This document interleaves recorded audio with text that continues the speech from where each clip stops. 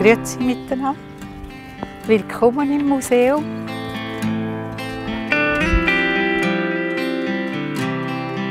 Ich bin ja nicht so unbedingt Militärfan, aber es war Geschichte und wir müssen es erzählen, wie es da stattgefunden hat in Schwammendingen. Einen grossen Einfluss hat für die Bauern 1799, wo die Russen und die Franzosen und die Österreicher sich da bekriegt haben. In dieser Gegend hat das stattgefunden und gegen Ziegelhütte rauf hat man geschossen.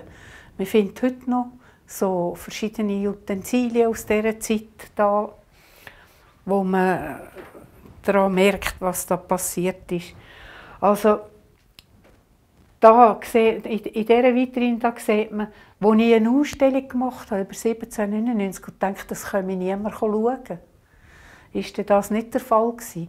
Da sind über 500 Leute in die Ziegelhütte gekommen. Wir haben dort mit der Schule ein Theater aufgeführt und mit der Musikschule die Musik.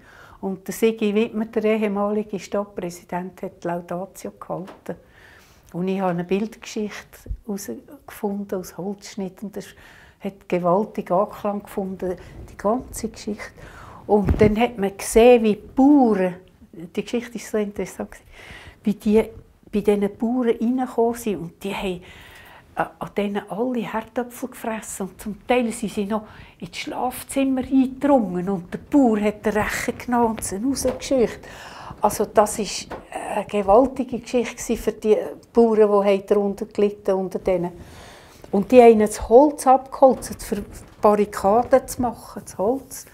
Und die haben nachher 30 Jahre zu wenig Holz für ihre Öfen zu heizen.